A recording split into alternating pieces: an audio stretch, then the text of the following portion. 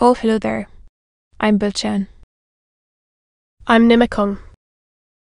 I'm Banchan. In this class, I'll read to all of you.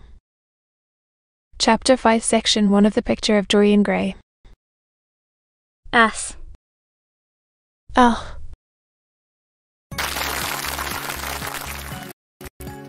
The picture of Dorian Gray. Oscar Wilde. Chapter 5, Section 1. Although. Although. I am so happy, whispered the gull, burying her face in the lap of the faded, tired looking Winhu, with back turned to the shrill intrusive light was sitting in the one armchair that their dingy sitting room contained. I am so happy, she repeated. And you must be happy. Wise. Vane winced and put her thin. The smooth whitened hands on her daughter's head. Happy she called. I am only happy. There will. When I see you act. You must not think of anything but your acting. Viste. Isaacs has been very good to us. The girl looked up and pouted. Money. Waller, she cried. What does money matter? With. Isaacs has advanced his fifty pounds to pay off our debts and to get a proper outfit for James. You must not forget that. They will. £50 is a very large sum. Wasted. He is not a gentleman. Although. And I hate the way he talks to me, said the girl, rising to her feet and going over to the window. I don't know how we could manage without him, said the elder woman querulously. Sibyl Vane tossed her head and laughed. We don't want him any more. While there.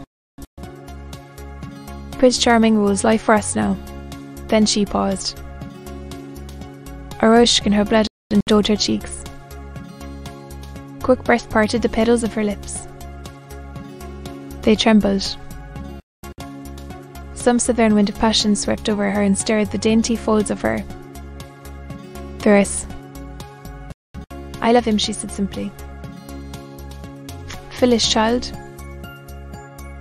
Foolish child was the pert phrase flung in answer. The waving of crooked, pustuled fingers gave great Venus to the words. The girl laughed again. The joy of a caged bird was in her voice. Her eyes caught the melody and echoed it in radiance, then closed for a moment, as though hide their secret. When they opened, the mist of a dream had passed across them. Thin lipped wisdom spoke at her from the worn chair, hinted at prudence, quoted from that book of Cardus whose author apes the name of common sense. She did not listen. She was free in her prison of passion. Her prince, Prince Charming, was with her. She had called on memory to remake him. She had set her soul to search for him, and it had brought him back. His kiss burned again upon her mouth.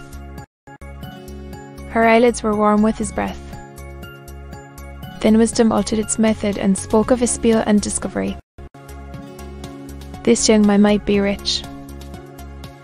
If so, marriage should be thought of. Against the chill of her broke the waves of worldly cunning.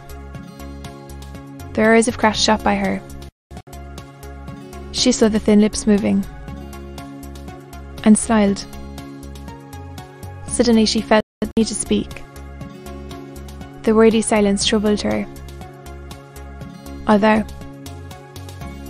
mother, she cried.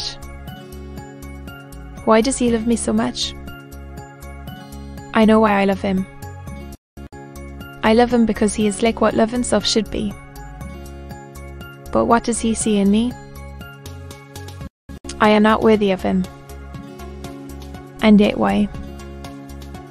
I cannot tell why I feel so much beneath him. I don't feel humble.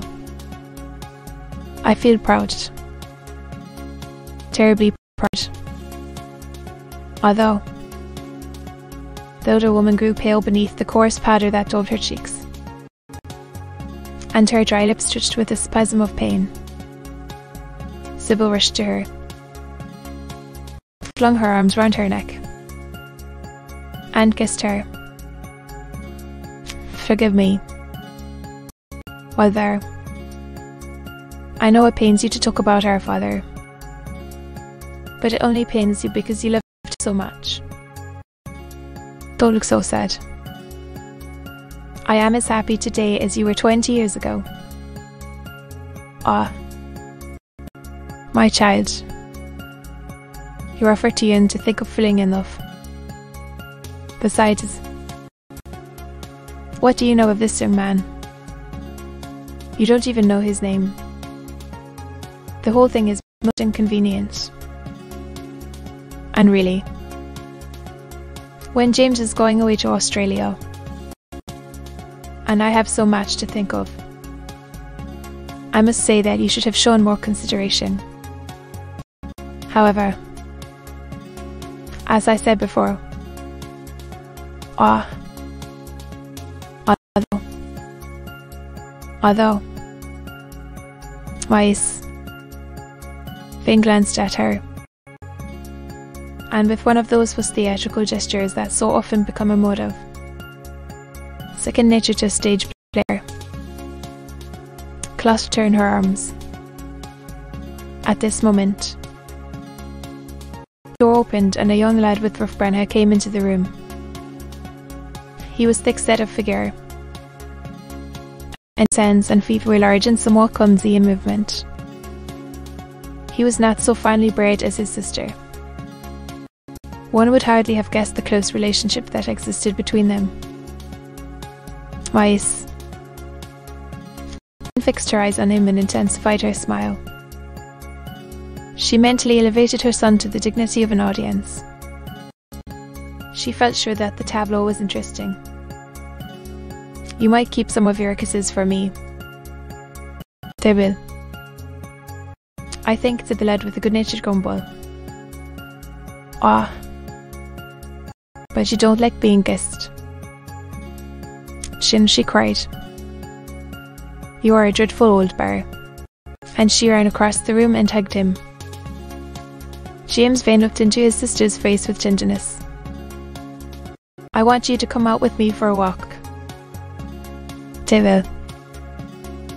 I don't suppose I shall ever see this horrid London again. My son. Don't say such dreadful things, murmured Miss Vane, taking up a tone theatrical. Dressed with a sigh and beginning to patch it. She felt it. Little disappointed that he had not joined the group. It would have increased the theatrical picturesqueness of the situation. To be continued.